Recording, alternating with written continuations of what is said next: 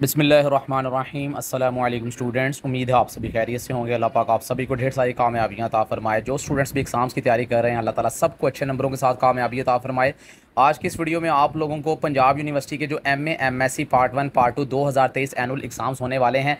उनकी date sheet के हवाले से गाइड करने जा रहा हूँ। आगे पढ़ने से पहले वीडियो को लाइक शुरू कीजिएगा और चैनल को भी सब्सक्राइब कर लें।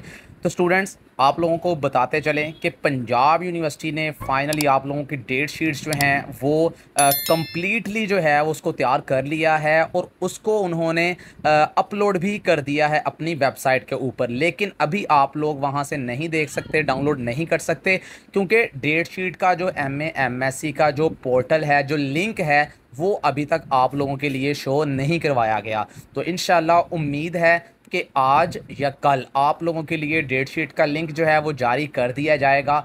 हो सकता है कि अभी जो है वो ओपन कर दिया हो क्योंकि मैं पिछली रात काफ़ी लेट जो है वो वीडियो बना रहा हूँ। हो सकता है अभी आप लोग वीडियो देख रहे हैं और आप लोगों की डेट शीट जो है वो अपलोड हो गई हो।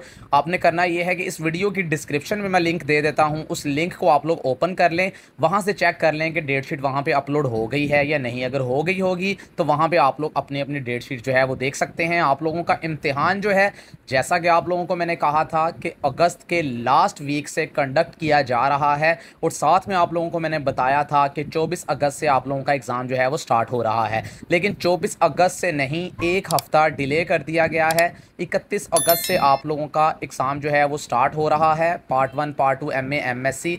तो इन शज़ीज़ आप लोगों की डेट शीट जो हैं वो इक्कीस इकतीस अगस्त से ही आप लोगों के सामने शो होंगी।